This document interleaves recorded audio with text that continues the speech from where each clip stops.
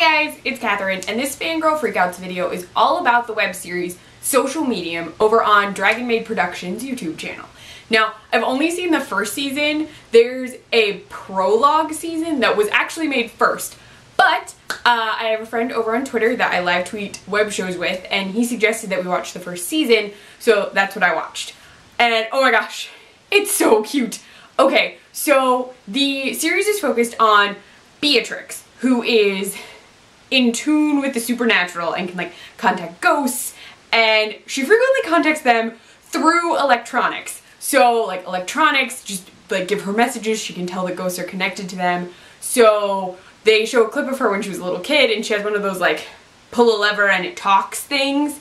And so when she pulls it, it like is acting normal and then when it gets to like the something says, they're all animals, um, but it does like the something says, instead of making the animal noise, it goes, Beatrix. So that was cool. Like a cute little home video thing.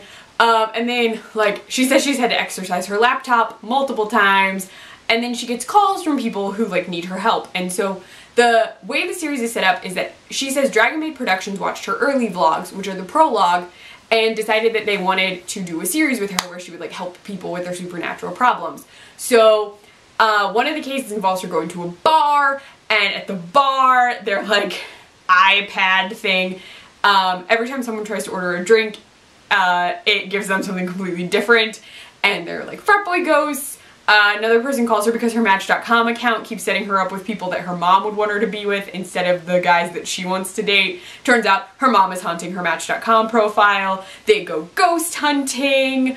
Um, what else happens? Oh, there's so many things. It's really fun. Um, there's a bakery where like these mysterious cupcakes keep showing up and there's lots of food in the series but cupcakes are a huge deal. They show up in every episode uh, which made me really want cupcakes the whole time I was watching it. I totally just bought some at the store. I was gonna make some from scratch because I love making cupcakes but I didn't. But I did buy them. They're, they're like random bread and blue cupcakes and I'm going to eat one later.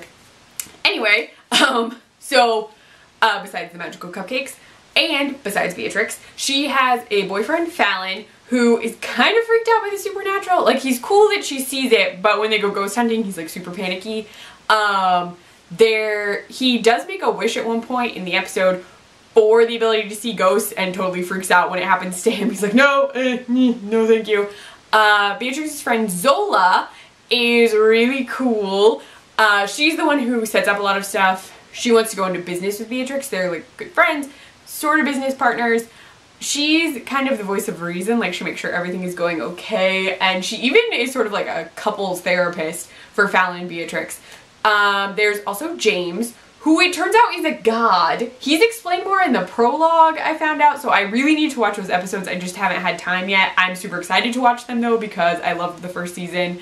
Um, so he's in it. There's a little bit of a love triangle.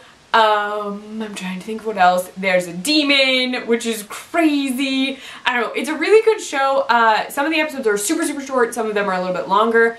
Um, most of them are divided into three parts. So one of the parts is really, really tiny. Another is like an interview with someone else. So it's really cool. You get like follow-up interviews with the people she helps in her supernatural cases.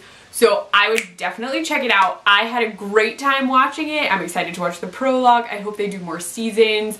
I heard that they're up for a web series award and I hope that they win it. I'm really excited for them, but it was really great. A random thing, the guy playing Fallon, I kept going like, I recognize that guy, I recognize that guy over and over again. I couldn't figure out where. And I'm sure lots of people recognized him from He's been on a bunch of other web series, but I actually recognized him from the time he was on Geek and Sundry as one of their vloggers. He was Tiger Monkey. He did like thumb wrestling and like some food stuff, but I really liked him on there and so I was like, oh my gosh, that's who it is. So there's a random little factoid if you didn't know that already. So um, you should definitely check out Social Medium over on Dragon Made Productions. It's really, really cool. Super short. You can watch the whole first season in like two hours and the prologue stuff is shorter. I'm gonna watch that tomorrow. Tomorrow is my day off, so that's my plan. Watch that, then watch the Orphan Black finale. Super excited for. I'm also wearing a Halloween shirt because I was like, oh, social medium. It's like ghosty and stuff, so Halloween. Uh, oh, I also really love their little title card with their this little tiny ghost and it like flashes in black and white and plays cute music. It's so adorable. I loved it. Anyway, um, you should definitely check it out. Uh, if you like this video, please give it a thumbs up. If you want to see more of me, please subscribe to my channel. You can also find me on Twitter at KleffNotes, on my blog, kleffnotes.wordpress.com.